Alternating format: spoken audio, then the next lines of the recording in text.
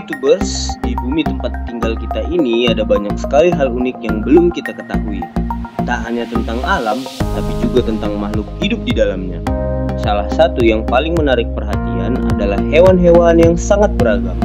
Beberapa di antara mereka memiliki ciri fisik dan warna yang unik. Mereka jarang terlihat karena tempat tinggalnya yang jauh atau mungkin memang spesiesnya yang sudah hampir punah.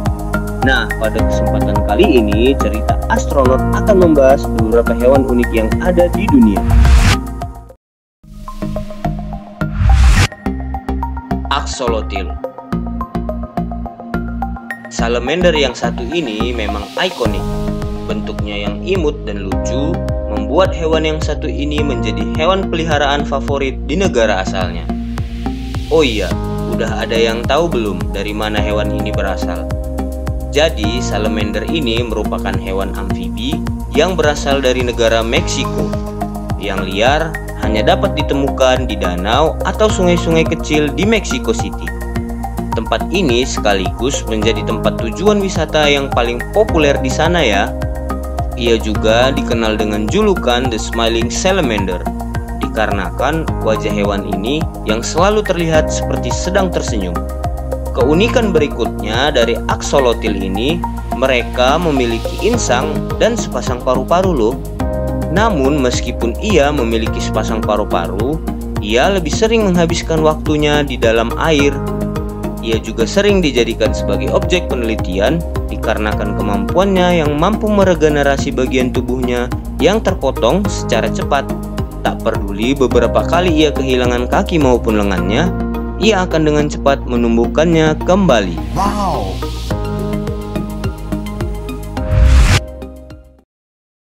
Angsa batu kaki biru. Hewan ini merupakan burung laut asli di daerah tropis dan subtropis Samudra Pasifik.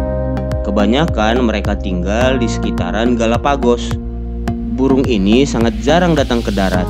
Mereka akan ke darat hanya untuk berkembang biak.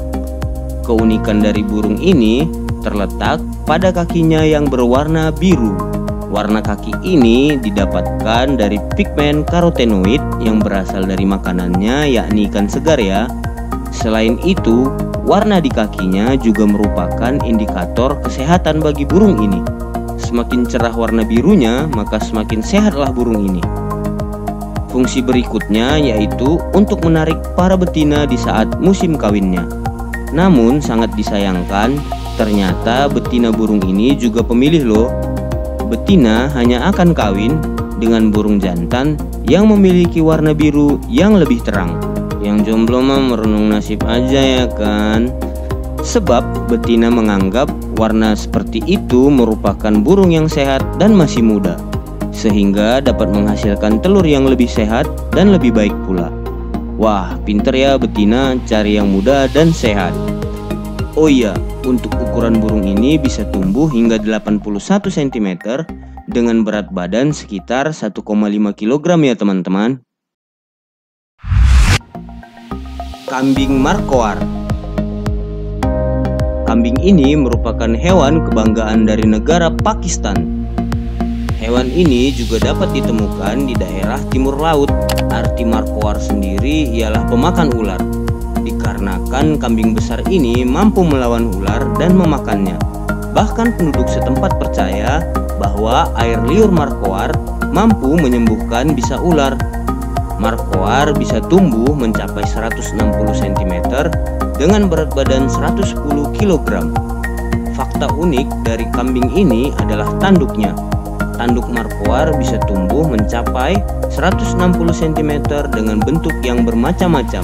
Ada yang seperti skrup dan ada juga ya yang melengkung. Hewan ini berstatus dilindungi. Tapi buat kalian yang ingin memburunya, kalian harus siap merogoh kocek membayar izin perburuannya sebesar 1,5 miliar. Pemerintah Pakistan menjelaskan bahwa dana ini 80% akan diberikan kepada masyarakat Pakistan agar tidak memburu markoar secara liar dan sisanya diperuntukkan untuk lembaga marga satwa pemerintah.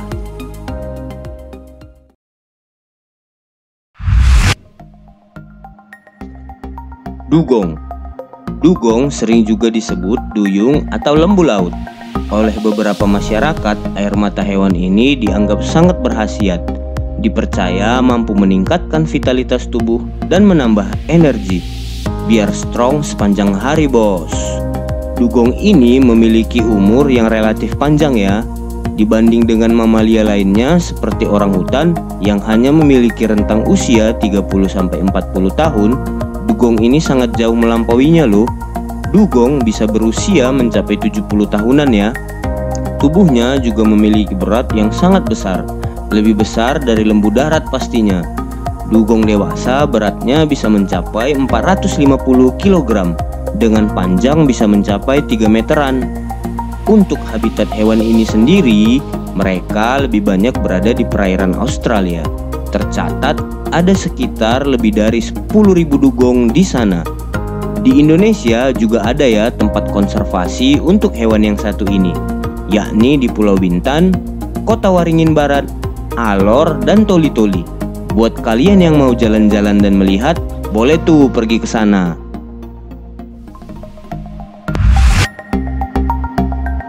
Platypus Platypus adalah hewan yang berkembang biak dengan bertelur. Namun, ia tergolong mamalia karena menyusui anaknya juga ya. Ia tergolong sebagai mamalia primitif karena merupakan salah satu cabang tertua dari pohon keluarga mamalia. Orang-orang sering mengatakan ia adalah hewan blasteran antara berang-berang dan bebek. Di sinilah letak keunikannya karena mulut dan kakinya menyerupai bebek, sedangkan tubuh, bulu, dan ekornya menyerupai berang-berang teman-teman. Habitat asli hewan yang satu ini berada di Australia Timur ya. Mereka menggali tanah di bantaran sungai sebagai tempat tinggalnya. Untuk makan, ia memakan makanannya bersamaan dengan pasir dan kerikil dari dasar sungai. Untuk membantu hewan ini mengunyah makanannya karena ia tidak memiliki gigi alias ompong. Saat ini diperkirakan jumlah mereka ada sekitar 100 ribuan yang tersebar di daerah Australia Timur. Kaisar Tamarin Hewan berkumis tebal ini merupakan primata terkecil di dunia. Dengan beratnya hanya mencapai 300 gram Tubuhnya yang kecil membuatnya membantu mencari makan di antara pepohonan, sedangkan habitat aslinya sendiri sangat jauh dari jangkauan manusia. Jadi, hewan ini hanya hidup di barat daya cekungan Amazon, di sebelah barat negara Brazil. Biasanya mereka hidup dalam berkelompok dan dipimpin oleh seekor betina yang dianggap paling tua dan paling berkuasa dengan mayoritas kelompoknya adalah pejantan. Wah, ternyata primata sekalipun sudah mengerti ya tentang kesetaraan gender. Oke, kita lanjut. Spesies ini merupakan hewan yang memakan tumbuhan. Yang menjadi makanannya itu adalah buah-buahan, pucuk-pucuk daun, dan serangga-serangga kecil. Nah, sebagian dari kalian mungkin bertanya, kenapa hewan ini dipanggil dengan nama kaisar?